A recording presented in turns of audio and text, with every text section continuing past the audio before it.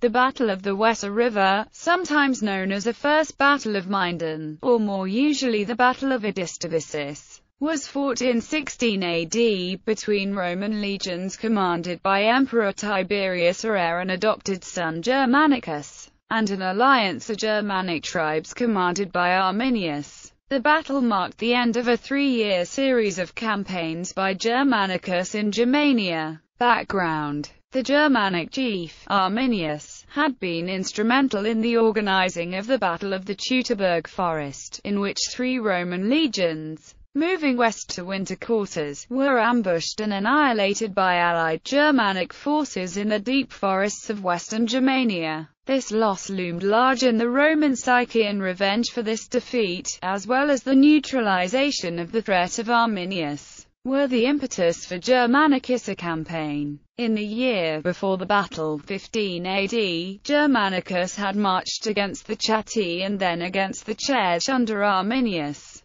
During that campaign, the Romans advanced along the region of the Teutoburg forest where the legions had been massacred and buried the bones of the Roman soldiers that still lay there. A legionary standard from the battle was also recovered. Skirmishes with the Germani were constant but the Romans could not draw them into open battle. Location Ancient sources identify the location as Idistavisus, but the precise location is unknown, save that it was on the right side of the Weser River, somewhere between the cities of Minden and Hamelin of present-day Germany. The battle the Germanic tribes generally avoided open large-scale combat but by repeated Roman incursions deep into Germanic territory, Germanicus was able to force Arminius, at the head of a large but fractious coalition, into response. The Romans, along with the Chauci who fought on the Roman side as auxiliaries, defeated the allied Germanic forces decisively inflicting heavy losses on them. Arminius and his uncle Inguiomerus evaded capture and fled with the remnants of their army into the forests. It is unknown how many Germanics and Romans were killed in the battle. According to Tacitus, the number of Germanic casualties were between 10,000 and 20,000 dead or wounded, while Romans were far fewer. Aftermath Germanicus then withdrew behind the Rhine for the winter. With Roman honor avenged, Tiberius called an end to the costly military campaigns in northern Germania and ordered Germanicus to return to Rome, where he was granted a triumph by Tiberius on May 26, AD 17. Arminius would be later assassinated on the orders of rival Germanic chiefs.